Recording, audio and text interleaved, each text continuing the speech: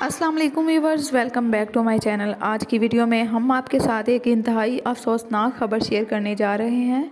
अदाकारा और famous TV host की वालदा वफात पा गई। अदाकारा ने ये अफसोसनाक खबर अपने मदाहों के साथ अपने इंस्टाग्राम पर शेयर की, जिस खबर का सुनते ही तमाम मदाहों पर गम की सी कैफियत तारी हो गई। इस अफसोसनाक खबर का सुनते ही तमाम अदाकारों ने और मदाहों ने इजहार अफसोस किया और मरहुमा की मफरत के लिए दवाएँ हैर भी की। कौन है वो मशहूर अदाकारा और टीवी होस्ट जिनकी वालदा वफात पा गई? इसके बारे में हम आपको आगे चलकर वीडियो में बताएँगे।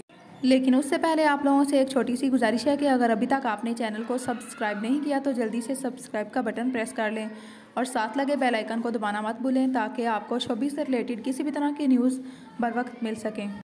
तो हम बात कर रहे हैं मशहूर अदाकारा और टीवी होस्ट निदा यासिर की। निदा यासर ने मदाहों को इंस्टाग्राम पर इस अफसोसनाक खबर से आगाह किया कि उनकी वालदा वफात पा गई हैं।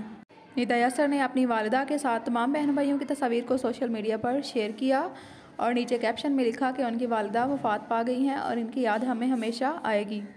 इस अफसोसनाक खबर का सुनते ही तमाम अदाकारों और मदाहों ने इजहार अफसोस किया और मरहुमा के लिए मगफरत की दुआ की। अल्लाह ताला से दुआ है कि अल्लाह ताला मरहुमा की मगफरत फरमाए और उनके अहलहाना को सब्र जमील अता फरमाए। व्यूवर्स आप लोगों से भी एक छोटी सी गुजारिश है कि आप लोग भी मरहुमा की मगफरत के लिए दुआ करें। और शोबी से रिलेटेड अच्छी या बुरी खबरों को बर वक्त जानने के लिए हमारे चैनल को सब्सक्राइब कर लें, ताकि हमारे आने वाली तमाम वीडियो आप तक बर वक्त पहुँच सकें। मुझे इजाज़त दीजिए, मिलते हैं किसी और वीडियो में किसी और न्यूज़ के साथ। तब तक के लिए अल्लाह हाफिज़।